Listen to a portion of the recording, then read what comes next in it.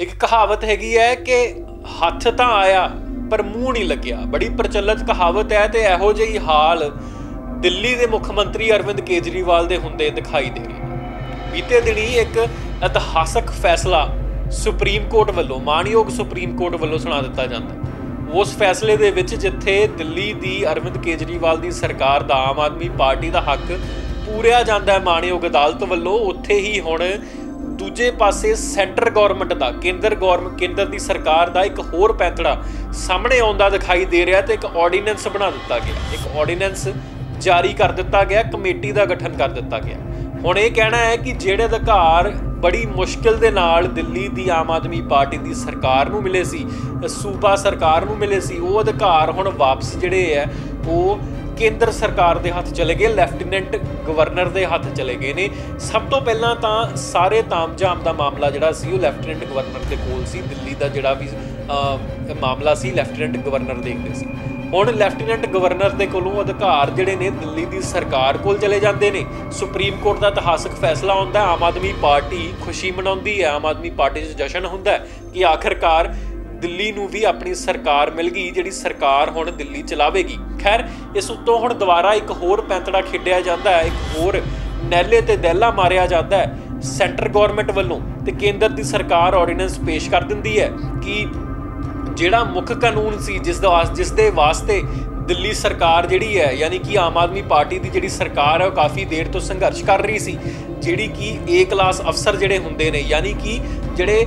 ਜਿਹੜੀ ਅਫਸਰਸ਼ਾਹੀ ਹੈ ਉਸ ਦੇ ਤਬਾਦਲਿਆਂ ਨੂੰ ਲੈ ਕੇ ਜੋ ਵੀ ਅਧਿਕਾਰ ਸੀ, ਜਿਹੜਾ ਮਸਾ ਮਸਾ ਦਿੱਲੀ ਦੀ ਆਮ ਆਦਮੀ ਪਾਰਟੀ ਦੀ ਸਰਕਾਰ ਦੇ ਕੋਲ ਆਇਆ ਸੀ। ਉਹ ਅਧਿਕਾਰ ਹੁਣ ਵਾਪਸ ਲੈਫਟੀਨੈਂਟ ਗਵਰਨਰ ਦੇ ਹੇਠ ਚਲਾ ਗਿਆ ਹੈ। ਯਾਨੀ ਕਿ ਜਿਹੜਾ ਅਧਿਕਾਰ ਮਸਾਂ ਦਿੱਲੀ ਦੇ ਹੱਥ ਲੱਗਿਆ ਸੀ, ਉਹ ਵਾਪਸ ਕੇਂਦਰ ਕੋਲ ਚਲਾ ਗਿਆ। ਇਸ ਨੂੰ, ਇਸੇ ਨੂੰ ਕਹਿੰਦੇ ਨੇ ਕਿ ਹੱਥ ਤਾਂ ਆਇਆ, ਪਰ ਮੂੰਹ ਨਾ ਲੱਗਿਆ ਵਾਪਸ ਦਿੱਲੀ ਦੇ ਕੋਲ, ਦਿੱਲੀ ਦਾ ਜਿਹੜਾ ਅਧਿਕਾਰ ਸੀ, ਉਹ ਕੇਂਦਰ ਸਰਕਾਰ ਦੇ ਕੋਲ ਜਾਂਦਾ ਦਿਖਾਈ ਦਿੰਦਾ ਹੁਣ ਜੇ ਇਸ ਆਰਡੀਨੈਂਸ ਦੀ ਗੱਲ ਕਰੀਏ ਤੇ ਆਰਡੀਨੈਂਸ 19 ਮਈ ਨੂੰ ਜਿਹੜਾ ਉਹ ਜਾਰੀ ਕੀਤਾ ਗਿਆ ਇਸ ਆਰਡੀਨੈਂਸ ਦੇ ਵਿੱਚ ਲਿਖਿਆ ਗਿਆ ਕਿ ਜਿਹੜੀ ਅਫਸਰਸ਼ਾਹੀ ਹੋਵੇਗੀ, ਅਫਸਰਸ਼ਾਹੀ ਦੇ ਤਬਾਦਲਿਆਂ ਦਾ ਮਾਮਲਾ ਹੋਵੇਗਾ, ਉਹ ਇਸ ਕਮੇਟੀ ਦੇ ਵਿੱਚੋਂ ਲੰਘੇਗਾ। ਯਾਨੀ ਕਿ ਇਹ ਕਮੇਟੀ ਜਿਹੜੀ ਹੈ, ਉਹ ਫੈਸਲਾ ਕਰੇਗੀ ਅਫਸਰਸ਼ਾਹੀ ਕਿੱਥੇ ਤਬਾਦਲਾ ਅਫਸਰਸ਼ਾਹੀ ਦਾ ਹੋਵੇਗਾ, ਜਿਹੜੇ ਏ ਕਲਾਸ ਅਫਸਰ ਨੇ ਉਹਨਾਂ ਦਾ ਤਬਾਦਲਾ ਕਿੱਥੇ ਕੀਤਾ ਜਾਵੇਗਾ। ਯਾਨੀ ਕਿ ਜਿੱਥੇ ਸਭ ਤੋਂ ਪਹਿਲਾਂ ਲੈਫਟੀਨੈਂਟ ਗਵਰਨਰ ਦੇ ਕੋਲ ਫੈਸਲਾ ਆਉਣ ਤੋਂ ਬਾਅਦ ਮਾਨਯੋਗ ਸੁਪਰੀਮ ਕੋਰਟ ਦਾ ਅਧਿਕਾਰ ਰਹਿ ਗਏ ਸੀ ਲੈਂਡ ਦੇ, ਯਾਨੀ ਕਿ ਜ਼ਮੀਨ ਦੇ, ਉਸ ਤੋਂ ਅਲੱਗਾ ਅਧਿਕਾਰ ਰਹਿ ਗਏ ਸੀਗੇ। ਅਮਨ ਕਾਨੂੰਨ ਦੇ ਲਾਅ ਐਂਡ ਆਰਡਰ ਦੇ ਔਰ ਉਸ ਤੋਂ ਅਲੱਗਾ ਅਧਿਕਾਰ ਲੈ ਕੇ ਰਹਿ ਗਏ ਸੀ ਪੁਲਿਸ ਦੇ। ਹੁਣ ਉੱਥੇ ਹੀ ਅਧਿਕਾਰ, ਜਿਹੜਾ ਮੇਨ ਅਧਿਕਾਰ ਸੀ, ਜਿਸ ਦੇ ਵਾਸਤੇ ਸੰਘਰਸ਼ ਹੋ ਰਿਹਾ ਸੀ। ਅਧਿਕਾਰ ਉਹ ਵਾਲਾ ਕਿ ਜਿਸ ਦੇ ਅਧੀਨ ਜਿਹੜੀ ਅਫਸਰਸ਼ਾਹੀ ਹੈ, ਉਸ ਦੀ ਟਰਾਂਸਫਰ ਜਿਹੜੀ ਹੈ ਕੰਟਰੋਲ ਕੀਤੀ ਜਾ ਸਕੇ। ਉਹ ਵਾਪਸ ਜਿਹੜੀ ਹੈ, ਉਹ ਪਹੁੰਚ ਗਈ। ਲੈਫਟੀਨੈਂਟ ਗਵਰਨਰ ਦੇ ਹੇਠ ਇੱਕ ਕਮੇਟੀ ਬਣੀ, ਜਿਸ ਦੀ ਜਿਸ ਦੇ ਪ੍ਰਮੁੱਖ ਜਿਹੜੇ ਨੇ ਉਹ ਲੈਫਟੀਨੈਂਟ ਗਵਰਨਰ ਹੋਣਗੇ। ਔਰ ਇਹ ਜਿਹੜਾ ਹੈ, ਇਹ ਬਿੱਲ ਪਾਸ ਹੋਵੇਗਾ ਰਾਜ ਸਭਾ ਦੇ ਵਿੱਚ, ਔਰ ਰਾਜ ਸਭਾ ਦੇ ਵਿੱਚ ਬਿੱਲ ਪਾਸ ਹੋਣ ਤੋਂ ਪਹਿਲਾਂ ਚੋਣਾਂ ਜਿਹੜੀਆਂ ਨੇ, ਉਹ 2024 ਦੀਆਂ ਵਿਧਾਨ ਸਭਾ ਜਿਹੜੀਆਂ ਲੋਕ ਸਭਾ ਚੋਣਾਂ ਨੇ, ਉਹਦੇ ਤੋਂ ਪਹਿਲਾਂ ਹੀ ਕਰ ਦਿੱਤੀਆਂ ਜਾਣਗੀਆਂ। ਰਾਜ ਸਭਾ ਦੇ ਵਿੱਚ ਜ਼ਾਹਿਰ ਤੌਰ ਤੇ ਬਿੱਲ ਲਿਆ ਕੇ ਇਸ ਦੀਆਂ ਚੋਣਾਂ ਕੀਤੀਆਂ ਜਾਣਗੀਆਂ, ਪਰ ਉਸ ਨੂੰ ਲੈ ਕੇ ਹੁਣ ਆਮ ਆਦਮੀ ਪਾਰਟੀ ਦੁਬਾਰਾ ਗਰਮਾਉਂਦੀ ਨਜ਼ਰ ਆ ਰਹੀ ਹੈ, ਸਰਗਰਮੀਆਂ ਤੇਜ਼ ਹੁੰਦੀਆਂ ਨਜ਼ਰ ਆ ਰਹੀਆਂ ਨੇ। ਕਿਸ ਤਰ੍ਹਾਂ ਇਹ ਪੈਂਤੜਾ ਖੇਡਿਆ ਗਿਆ ਇਹ ਬਹੁਤ ਜਿਹੜੀ ਖਾਸ ਗੱਲ ਹੈ ਵੇਖਣ ਵਾਲੀ, ਕਿਉਂਕਿ ਇਹ ਸਾਫ਼ ਦਿਖਾਈ ਦੇ ਰਿਹਾ ਸੀ ਕੇਂਦਰ ਸਰਕਾਰ ਨੂੰ ਕਿ ਉਹਨਾਂ ਦੇ ਹੱਥੋਂ ਬਹੁਤ ਵੱਡਾ ਜਿਹੜਾ ਅਧਿਕਾਰ ਹੈ ਉਹ ਜਾ ਰਿਹਾ ਔਰ ਉਸ ਨੂੰ ਆਪਣੇ ਹੱਥ ਦੇ ਵਿੱਚ ਰੱਖਣ ਵਾਸਤੇ ਮੌਕੇ ਤੇ ਹੀ ਆਰਡੀਨੈਂਸ ਦਾ ਗਠਨ ਕਰ ਦਿੱਤਾ ਗਿਆ। ਯਾਨੀ ਕਿ ਦਿੱਲੀ ਦੀ ਸਰਕਾਰ ਕੋਲ ਬਾਕੀ ਸਾਰੇ ਅਧਿਕਾਰ ਤਾਂ ਹੋਣਗੇ ਸੂਬਾ ਸਰਕਾਰ ਵਾਲੇ, ਪਰ ਇਹ ਅਧਿਕਾਰ ਨਹੀਂ ਹੋਵੇਗਾ ਕਿ ਜਿਹੜੇ, ਜਿਹੜੀ ਅਫਸਰਸ਼ਾਹੀ ਹੈ, ਜਿਹੜੇ ਏ ਕਲਾਸ ਅਫਸਰ ਨੇ, ਉਹਨਾਂ ਦੀ ਟਰਾਂਸਫਰ ਜਿਹੜੀ ਹੈ, ਉਹ ਕੰਟਰੋਲ ਕਰ ਸਕੇ। ਉਹ ਟਰਾਂਸਫਰ ਕੰਟਰੋਲ ਜਿਹੜੀ ਹੈ, ਉਹ ਉਹੀ ਕਰੇਗਾ ਉਹੀ ਕਮੇਟੀ ਕਰੇਗੀ ਜਿਹਦੇ ਚੇਅਰਪਰਸਨ ਹੋਣਗੇ ਲੈਫਟੀਨੈਂਟ ਗਵਰਨਰ ਯਾਨੀ ਕਿ ਘੁੰਮ ਘਮਾ ਕੇ ਵਾਪਸ ਅਧਿਕਾਰ ਕੇਂਦਰ ਦੀ ਸਰਕਾਰ ਦੇ ਕੋਲ ਆ ਗਏ ਨੇ। ਰਾਸ਼ਟਰਪਤੀ ਨੇ ਆਰਡੀਨੈਂਸ ਜਿਹੜਾ ਜਾਰੀ ਕਰਨ ਤੋਂ ਬਾਅਦ ਰਾਸ਼ਟਰਪਤੀ ਨੇ ਲਿਖਤ ਤੌਰ ਤੇ ਹੁਕਮ ਜਾਰੀ ਕੀਤੇ ਨੇ। ਜਿਹੜਾ ਕਿ ਹੁਣ ਬਿੱਲ ਦੇ ਤੌਰ ਤੇ ਕਾਨੂੰਨ ਰੂਪ ਦੇਣ ਲਈ ਰਾਜ ਸਭਾ ਦੇ ਵਿੱਚ ਲਿਆਂਦਾ ਜਾਵੇਗਾ ਤੇ ਉਸ ਤੋਂ ਬਾਅਦ ਇਸ ਨੂੰ ਕਾਨੂੰਨੀ ਰੂਪ ਜਿਹੜਾ ਉਹ ਦੇ ਦਿੱਤਾ ਜਾਵੇਗਾ। ਪਰ ਇਸ ਮਾਮਲੇ ਨੂੰ ਲੈ ਕੇ ਅਜੇ ਚੋਣਾਂ ਹੋਣੀਆਂ ਬਾਕੀ ਨੇ। ਇਸ ਕਾਨੂੰਨੀ ਰੂਪ ਨੂੰ ਦੇਣ ਲਈ ਚੋਣਾਂ ਜਿਹੜੀਆਂ ਹੋਣਗੀਆਂ VOTING ਹੋਵੇਗੀ, ਉਹ ਹਜੇ ਬਾਕੀ ਨੇ। ਯਾਨੀ ਕਿ ਰਾਜ ਸਭਾ ਦੇ ਵਿੱਚ ਜਿੰਨੇ ਵੀ ਲੋਕ ਹੋਣਗੇ, ਜਿੰਨੇ ਵੀ ਐਮਪੀ ਹੋਣਗੇ, ਉਹ ਹੁਣ ਵੱਖ-ਵੱਖ ਪਾਰਟੀਆਂ ਦੇ ਐਮਪੀ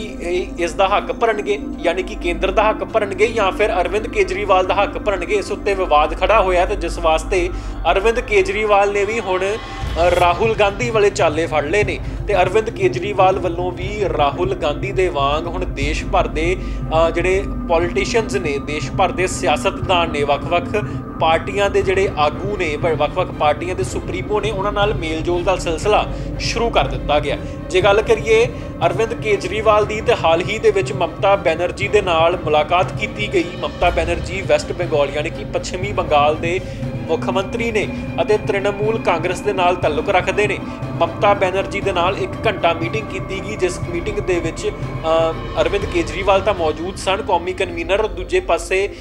ਮੁੱਖ ਮੰਤਰੀ ਪੰਜਾਬ ਭਗਵੰਤ ਸਿੰਘ ਮਾਨ ਐਮਪੀ ਰਾਘਵ ਚੱਡਾ ਅਤੇ ਆਮ ਆਦਮੀ ਪਾਰਟੀ ਦੇ ਸੰਜੇ ਸਿੰਘ ਮੌਜੂਦ ਸਨ ਅਤੇ ਵਿਧਾਇਕ ਵੀ ਜਿਹੜੇ ਮੌਜੂਦ ਸਨ,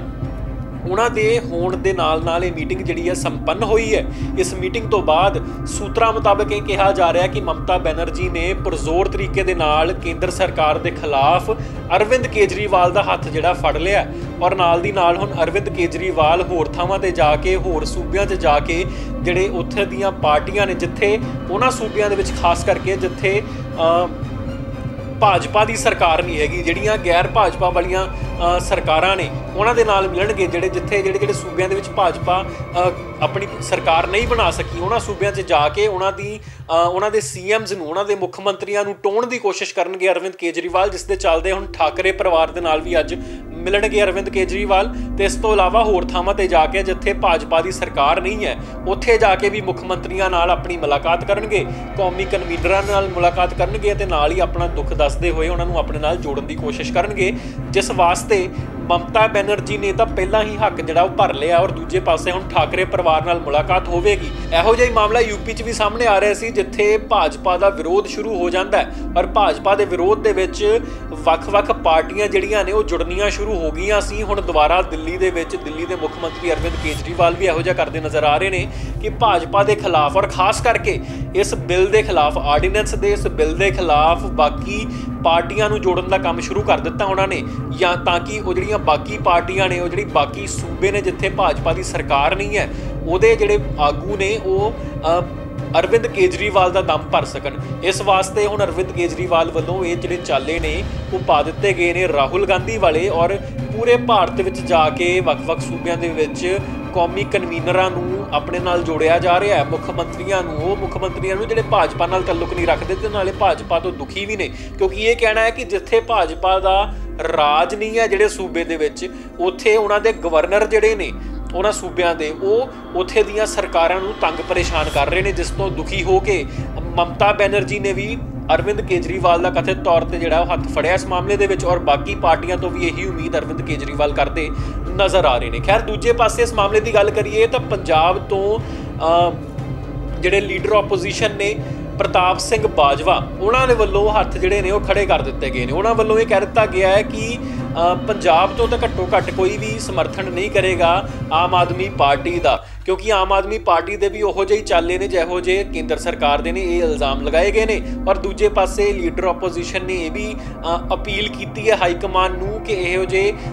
ਕੰਮ ਦੇ ਵਿੱਚ ਮਦਦਗਾਰ ਨਾ ਸਾਬਤ ਹੋਵੇ ਆਮ ਆਦਮੀ ਪਾਰਟੀ ਲਈ ਕਾਂਗਰਸ ਸਰਕਾਰ। ਇਸ ਪੂਰੇ ਮਾਮਲੇ ਨੂੰ ਲੈ ਕੇ ਅਜੇ ਫਿਲਹਾਲ ਤਾਂ ਅਰਵਿੰਦ ਕੇਜਰੀਵਾਲ ਦਾ ਸਫ਼ਰ ਸ਼ੁਰੂ ਹੋਇਆ ਔਰ ਇਸ ਆਰਡੀਨੈਂਸ ਨੂੰ ਕਾਨੂੰਨ ਬਣਨ ਤੋਂ ਰੋਕਣ ਵਾਸਤੇ ਕੀ ਕੁਝ ਕਰਦੇ ਨੇ ਕਿਤੇ ਕਿਤੇ ਨਾਲ ਮਿਲਦੇ ਨੇ, ਉਹ ਵੀ ਤੁਹਾਨੂੰ ਦੱਸਦੇ ਰਵਾਂਗੇ। ਔਰ ਵੱਡਾ ਸਵਾਲ, ਕੀ ਇਹ ਆਰਡੀਨੈਂਸ ਜਿਹੜਾ ਹੈ, ਉਹ ਕੀ ਕਾਨੂੰਨ ਦਾ ਰੂਪ ਅਖਤਿਆਰ ਕਰ ਸਕੇਗਾ ਜਾਂ ਫਿਰ ਨਹੀਂ? ਇਹ ਜਾਣਨਾ ਵੀ ਬਹੁਤ ਜ਼ਰੂਰੀ ਹੈ, ਉਹ ਵੀ ਤੁਹਾਨੂੰ ਦੱਸਦੇ ਰਵਾਂਗੇ। ਬਨੇ ਰਹੋ, one India Punjabi subscribe to one India channel and never miss an update